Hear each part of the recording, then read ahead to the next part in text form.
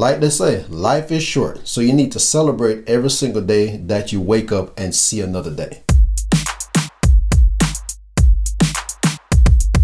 So today is my 50th birthday. 50 years of awesomeness, just like this shirt says. I cannot complain about my life because I've lived a good life. I've traveled 16 countries within my lifetime, joined the military, have two degrees, and progressed myself to the highest level that I can progress it right now. Now I have two YouTube channel, one main channel and another channel that I'm working on and I've learned a lot over the years. I've survived being diagnosed with Crohn's disease and it's been in remission for about somewhere about 15 years now. So like I said, life is good, I feel blessed and all is well. There's so much things I've accomplished over the last 50 years and there's still more that I need to accomplish before I leave this earth. So I'm going to keep on doing what I do and just do more and improve on myself as the years go by.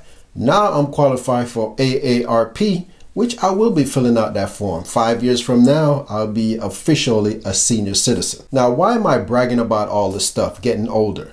The thing is, a lot of people were born the same year, same date as me, and they're still not here. So I am celebrating life because I could have been one of those numbers instead of being the number of the living. So since I'm still in the land of the living, I'm going to keep on celebrating the older and the older I get. I know a lot of people like to hide the age, but you shouldn't be hiding your age. You should be proud of it. Proud of how older you're getting, how much longer you're living on this earth. Like they say, life is short, so you need to celebrate every single day that you wake up and see another day. So I'm very thankful for living this long and hopefully I can get 50 more years. You never know, you have many people living way past 100 and I would love to be one of those people. I'm going to keep on doing what I need to do health wise and keeping my peace of mind, keeping the stress down, because those are the things that I believe are the things to make you live much longer by eating right, sleeping, and taking care of yourself internally as you do externally. Now you can do all those things and still be taken out early. You know, there's other factors. You know, every time you walk out the door,